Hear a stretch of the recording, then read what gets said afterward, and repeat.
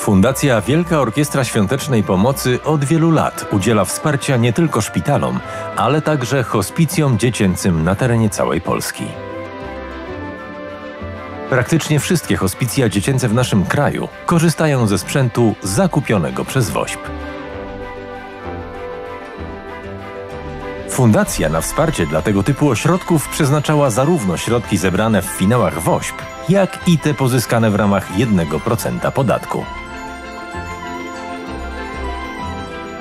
Wśród sfinansowanego wyposażenia są m.in. samochody, łóżka rehabilitacyjne, materace przeciwodleżynowe, koncentratory tlenu, asystory kaszlu, pompy infuzyjne strzykawkowe oraz ssaki.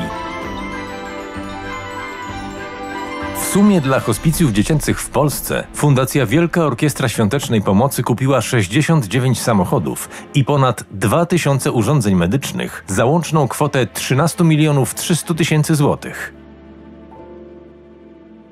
Najbardziej trafionym zakupem było 69 samochodów, które z jednej strony umożliwiają personelowi szybkie i bezpieczne dotarcie do podopiecznych w hospicjach domowych, z drugiej komfortowe przetransportowanie dzieci na badania.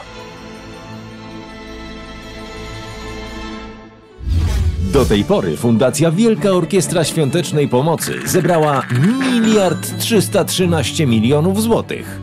W ciągu 28 lat kupiliśmy ponad 65 200 urządzeń.